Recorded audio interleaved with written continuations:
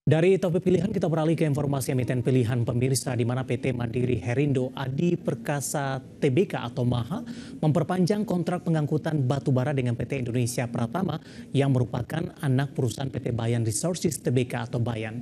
Dengan memperhitungkan nilai kontrak sebelumnya, total pendapatan MAHA diperkirakan mencapai 23,9 triliun rupiah.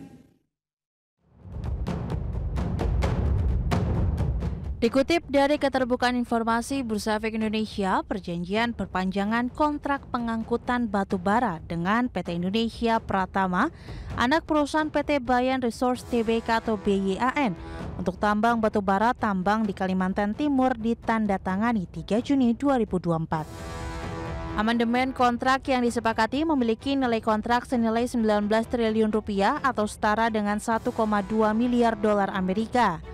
Dengan memperhitungkan nilai kontrak sebelumnya, total pendapatan Maha diperkirakan mencapai 23,9 triliun rupiah atau 1,5 miliar dolar Amerika.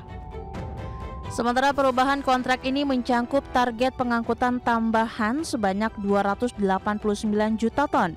Dengan demikian, akumulasi total batu bara yang akan diangkut oleh Maha mulai 2024 hingga 2034 mencapai 368 juta ton. Direktur Utama PT Mandiri Herindo Adi Perkasa Tbk atau MAHA, Hamidakon mengatakan kemitraan jangka panjang merupakan bukti kepercayaan pemilik tambang dan kontraktor keperseruan sebagai penyedia layanan pengangkutan batu bara yang dapat diandalkan. Seperti diketahui, Maha telah melayani kebutuhan pengangkutan batu bara di proyek tambang dengan BIAN sejak tahun 2017. Sebelum perubahan ini, kontrak Maha dengan BIAN berakhir di tahun 2027. Namun dengan perpanjangan ini, periode masa berlaku kontrak mencakup 10 tahun hingga tahun 2034 mendatang. Berbagai sumber, IDX Channel.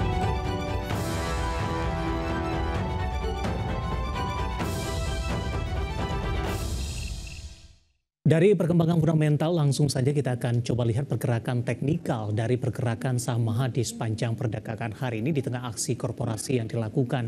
Dan pemirsa di tengah harga saham gabungan yang hari ini lebih cenderung bergerak stagnan, Maha mengalami penguatan di atas 3%. Langsung saja kita ke grafis yang pertama pemirsa kita akan coba lihat bagaimana pergerakan saham di sepanjang perdagangan eh, hari ini. Dibuka di sesi pertama pada pagi tadi di level 226 rupiah per saham. Posisi ini mengalami penguatan jika dibandingkan dengan penutupan hari sebelumnya dan berada di level 222 rupiah per saham. Pada pukul 9 lewat 5 menit, uh, penguatan lebih ke arah terbatas di 220 dan 1050. Saham Maha mengalami penguatan yang cukup signifikan dan menembus di level 234 rupiah per saham dan tampaknya level intraday tertinggi di sepanjang sesi pertama pada siang tadi. Di penutupan, uh, penguatan terbatas ke 230 dan di pembukaan sesi kedua uh, kembali menguat ke level 232 rupiah per sahamnya. Kita akan coba lihat juga bagaimana pergerakan saham di beberapa bulan terakhir pemirsa. Mulai dari perdagangan awal tahun di 2 Januari, pergerakan saham Maha di, masih diperdagangkan di level 204. Kemudian di perdagangan Februari dan Maret ini tampaknya rata-ratanya diperdagangkan di bawah level 200-an rupiah per saham. April uh, mencoba menguat ke atas uh, 200-an tepatnya di 216 dan Mei uh, kembali turun atau penguatannya lebih ke arah terbatas pemirsa dan masih mampu bertahan di atas level 200-an di 4 Juni ke 246 level tertinggi dalam 6 bulan terakhir dan di pembukaan sesi kedua hari ini diperdagangkan di level 232 rupiah per sahamnya. Kita beralih ke grafis selanjutnya, kita akan coba lihat bagaimana uh, dari sisi valuasi untuk saham Maha dengan beberapa indikator yang ada.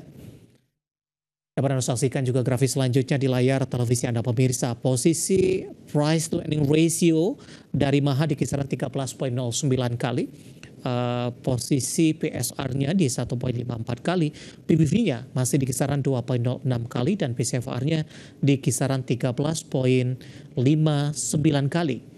Ya, itu dia uh, valuasi dari saham Maha secara teknikal tadi dan juga dari perkembangan fundamental terbaru dan semoga bisa menjadi salah satu referensi untuk Anda.